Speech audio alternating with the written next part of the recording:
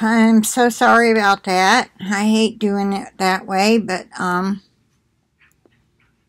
oh well. It's just another way that the devil likes to aggravate us. Anyway, never mind. See, that breaks up my train of thought. And I texted her and I told her, don't bother me.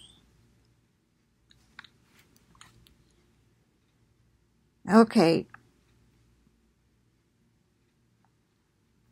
Uh, now see my, I, all right, let me just try to pick up where I left off here. I was telling you that my main point in making this video was so that you would understand why there are false prophets, how they can know stuff, and how come it comes true. Because Satan already knows when it comes to politics. The Illuminati already told ahead of time when these boys who are now young men, like take for instance Obama, they started when he was very young and he was groomed to be president. It was no surprise to the Illuminati that he became president. And the votes were rigged so that it would look right. Okay? Does anybody remember that fiasco? Anyway, see, they have them already picked out. And that's how come they can send a demon. Satan can send demons to these men at the right time and tell them however it is they communicate with them and tell them this so and so is going to run for president and he will win. All right.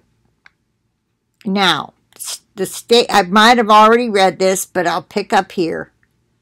Um, the statements by Kaduri also reference excerpts from the ancient book, The, Go- the Covenant of the Persimmon, by Kabbalist Rabbi Sashon Hay Shoshani, who Kaduri said was known as the prophet of Egypt. Shoshani said, There will come on the day that two ministers win the government in the land of Israel both their names will be Benjamin, and neither of them will succeed in establishing their government or kingship. All right, moving on. On that day, know and understand that King Messiah already stands at the doorway, and on the Sabbath afterwards, he will come and be revealed. That's what I was trying to figure out. Which Sabbath are they talking about? Has that day come and gone? After there's been several elections and there's still no government and there's still no um, kingship between the two? Okay? Neither one of them? Now, if I'm if I'm wrong, if that has happened this week, let me Google it real quick. Here, I put, uh, I looked up Kabbalah. It's all mysticism. It's not godly. So just know that. You can look it up yourself and read the big long paragraph if you want. But I'm going to try to keep this short. Okay. So was there, and that was something I meant to pull up first. Was there an election in Israel this week. Latest news in Israel.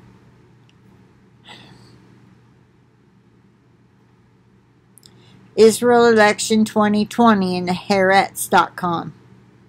Israel election 2020 breaking news and analysis as Benny Gantz tries to beat. All right, let me click on this.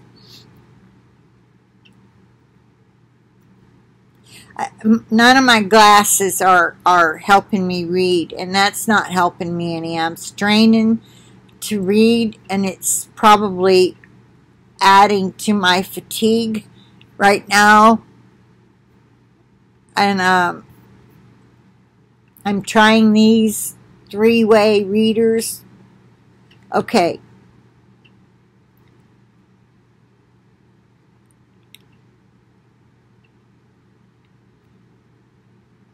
The Netanyahu Gantz government experience and talent are a drawback.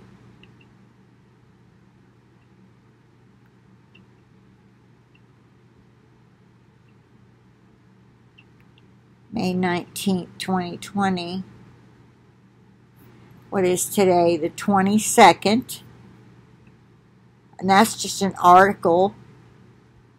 The real winners of Israel's election ultra-Orthodox parties amass great economic power. This was written 18th. In coalition deals with Netanyahu's Likud, Shas, and United Torah Judaism.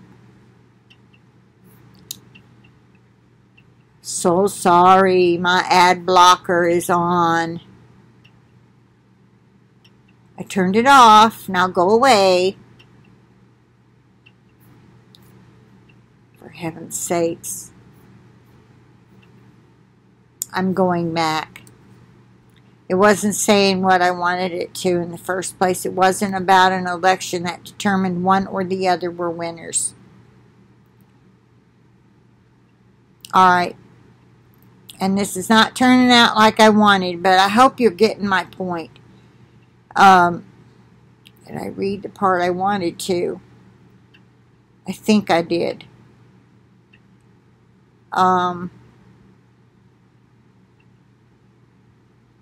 according to the Jewish Telegraphic Agency, in a meeting between Netanyahu and Kaduri in 1997 on their shared birthday, Netanyahu was recorded as whispering to the rabbi that left-wing people, quote, have forgotten what it means to be Jewish, unquote.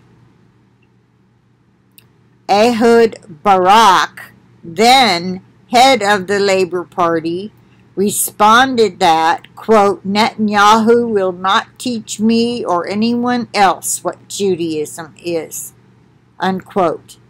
All right, I skipped a, a, little part of it. You can, I will link it in the description box. You can read it all. It is from the Jerusalem Post. It isn't real super current like I wanted, September 24th, 2019. So I can't, I haven't been able to find something that happened this week that would have made this prophecy any more let's just say this. It's not believable. Don't put your hopes in it. If it happens it's because Jesus wanted it to not because Kaduri predicted it.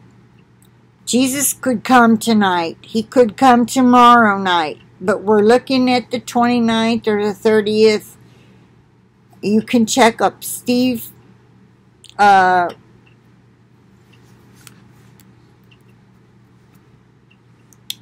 so sorry. My mind went blank. Steve Fletcher, 222. He talks about it. And I know he has set a date, missed it, and said, but man is continually looking. He's watching. The prophecy of his coming revealed. He's been on a couple radio shows just real recently telling how he came to, to be such a diligent seeker of when's the next possible date? When's the next possible date? He's looking, he's seeking for that next possible date. And I know people have gotten tired of him saying, this has got to be it. But now he's saying May 30th, I think. I'm pretty sure it's 29th or 30th. So I'm just going to end this here, and I hope I made my point. Whether Jesus comes or not, I think that their king that they're waiting on is not the one we're waiting on because they're not Christians And Jesus is not coming for the Jews till the end of the seven year tribulation. They have to go through it. And he will protect the Orthodox, not the evil. They'll they'll be put into the same pot, you could say, as the evil people here.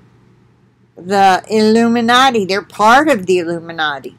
They're part of who the Vatican controls, not the Orthodox that are waiting for the Messiah, Son of God, Son of David, would be Son of David.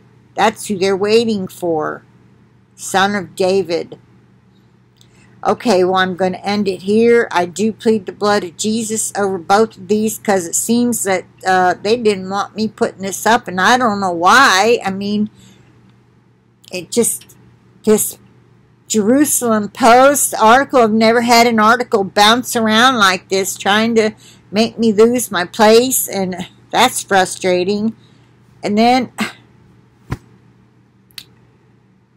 Oh, if, you know, I think sometimes if only I could just have my own house. but I have a nice place. I just have to put up with interruptions now and then. it's not that often. So anyway, I plead the blood of Jesus over this video, the internet connection, and myself, my computer, and over each and every one of you and your devices and your internet connections as well. And I say, God bless each and every one of you. Bless you with all that you need. Bless you with peace. Bless you with more knowledge and wisdom. Bless us all with more discernment. Holy Father, I ask you to grant us all more discernment, wisdom, and understanding of the Word, the written Word as it was meant to be understood. I pray that for everybody, as well as pleading the blood for protection.